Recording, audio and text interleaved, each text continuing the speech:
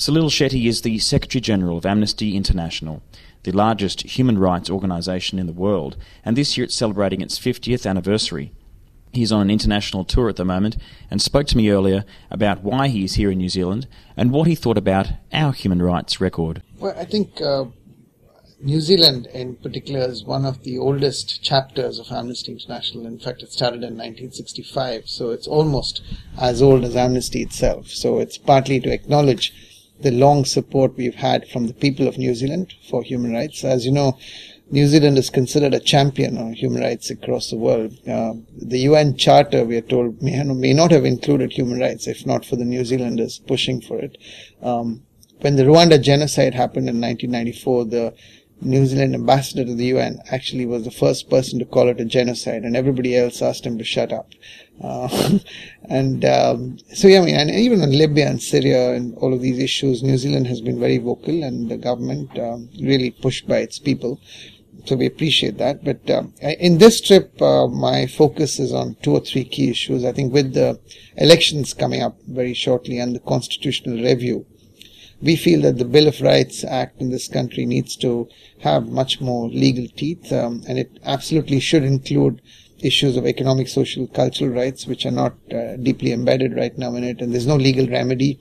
So that's one of the key areas we're pushing for. The New Zealand government is a signatory to many of the international conventions, but it's not yet ratified the optional protocol on economic, social, cultural rights.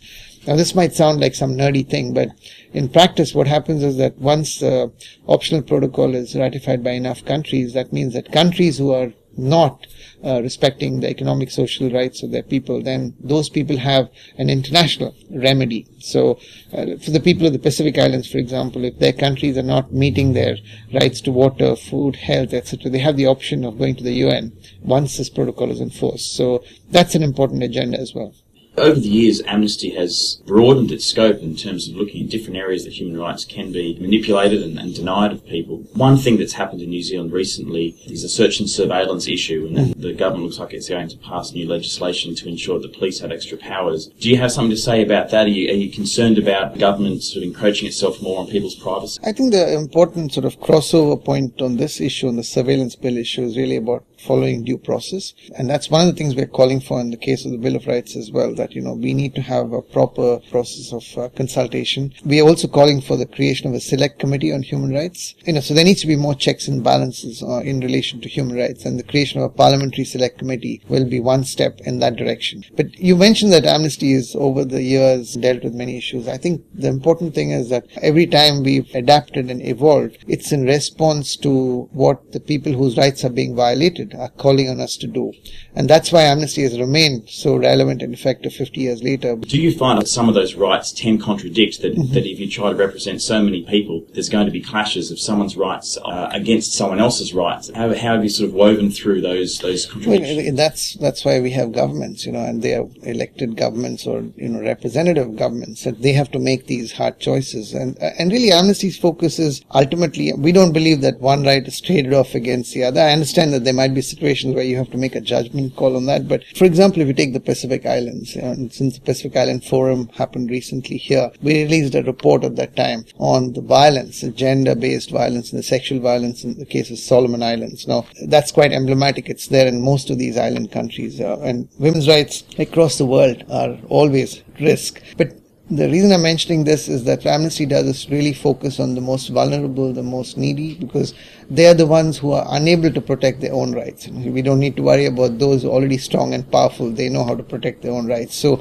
uh, the way in which we make our judgments and our choices is based on making sure that those who are weak and vulnerable, those who are discriminated against, that their rights are protected. When talking about the, the clashes, there was that example with the Moazzam Begg affair and the issue with women's rights perhaps being traded off against those political prisoner rights with the Guantanamo Bay prisoner. One thing that Amnesty came under criticism for in the last few years was the decision to sanction not all cases of abortion where you're trading off a women's right against an unborn child's rights. Mm-hmm. How have you woven through that issue and how have you dealt with the criticism where Amnesty haven't really stood up for the most vulnerable voices? You know, uh, but that, of course, as you know, that's not just in the case of amnesty. The, the debate on abortions and right to life choice, etc., is an ongoing debate. From our perspective, you know, when women are at risk, I was in Indonesia recently. Let me put it in, you know, with a good practical example. So Indonesia has, I think, more than 20,000 women die uh, during childbirth every year. And question of protecting them is fundamental to everybody, including the Indonesian government. But at the same time, they are not completely prepared to decriminalize abortion. So if you talk to the health minister or the policymakers in Indonesia,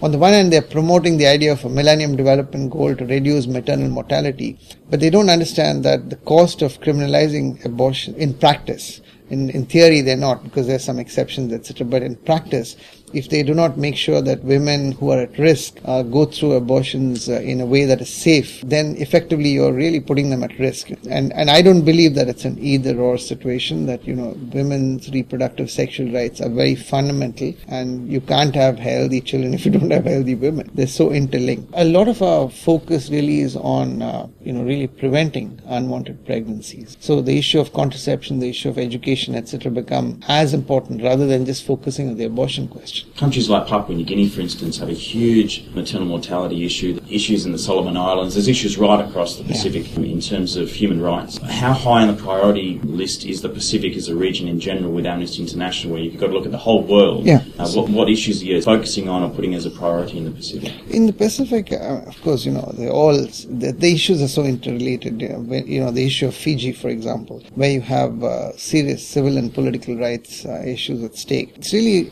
Australia and New Zealand, the countries which are more powerful, the more uh, economically developed in this part of the world, particularly New Zealand, has a major role to play in the Pacific. And here uh, we are in a rather awkward situation because the New Zealand government's focus is very much on economic development, and nobody is going to argue that we don't need economic development. You know, but the issue is that we see that these things are so interconnected. If the people don't have basic freedoms and basic civil and political rights, if they don't have the freedom from fear, you cannot, in a sustainable way, deal with the freedom from want. In terms of Fiji itself, what would you be saying to, the interim Prime Minister in terms of making sure that his own process towards democracy is his promise, mm-hmm. that, that he ensures uh, people's fundamental human rights? We've you know, consistently raised our voice against detentions, arbitrary detentions, torture. You know, we've, we've raised this. We have these urgent action appeals which we have released most recently with the suspension of all the labor rights, union rights there. We were very concerned about that as well.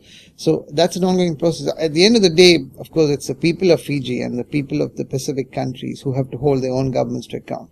And I think our concern in the case of New Zealand is to make sure that it uses the leverages it has through the aid policies, through the aid programs, through the trade relationships that it has. And the only way that you can do it as New Zealand is if you yourself have a clean domestic record. That's one thing you've been saying recently with Australia, with your issue of the, the asylum seekers. Mm. Um, you've spoken very clearly a few days ago in Australia about that. Did you get much response, or is it more something that Australia is very belligerently following in terms of a political issue rather than a human rights issue? It's very unfortunate. You know, they're talking about a Pacific solution, a Malaysia solution. You know, my answer is have a human rights solution. That's the only way you can re- resolve this question. Both New Zealand and Australia are signatories to the UN Refugee Convention of 1951. They know what needs to be done. There are actually very few people who come to both these countries. People are not coming here on a joyride. You know, they're fleeing from persecution from in Afghanistan and Burma and Iran and Sri Lanka and uh, there has to be a due process. It's a right. Asylum seeking is a right. It used to be on the UN Millennium Campaign. Mm-hmm. That's a big issue for the Pacific with the Millennium Development Goals. Some countries are, are very positive, and by 2015 they can reach them. Mm-hmm. Others are a bit more negative and, and, more pessimistic in terms of, well, we're not going to make it. Mm-hmm. What, what, do you think the major concerns are there? Do you have hopes that these Pacific countries can meet them? The good thing about the goals is it's based on hard numbers.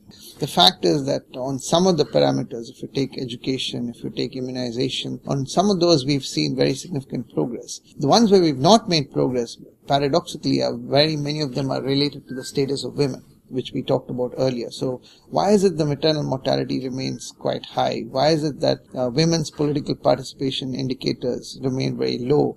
It's fundamentally because of the way in which we treat women in these countries. So that's where the human rights agenda becomes very central. If you want to uh, not just achieve, but if you want to sustain the achievement of the Millennium Development Goals, you have to fundamentally look at it from a human rights lens. What do you think the media can do, particularly in developed countries like Australia and New Zealand, to encourage the respect for human rights uh, in their own countries but also nearby regions. I speak to journalists all over the world when I travel, and to me, the role of media is not actually very different from what Amnesty International does because it's about putting the facts on the table, speaking truth to power, and holding authorities to account. So, by telling the public the truth in a very honest and uh, open way, that's the only way you can hold people to account. I mean, if you take the Middle East and North Africa, all the revolutions which we've seen there is quite fundamentally related to the role that Al Arabiya and Al Jazeera played alongside the social media. And you don't need to interpret, you don't need to become champions of human rights. You already are by simply providing, you know, when we say freedom of information, the right to information, once people know the facts, they will take the actions which are required. So, you know, we don't need another category called human rights journalism. I think all journalists, as far as I'm concerned, are human rights promoters.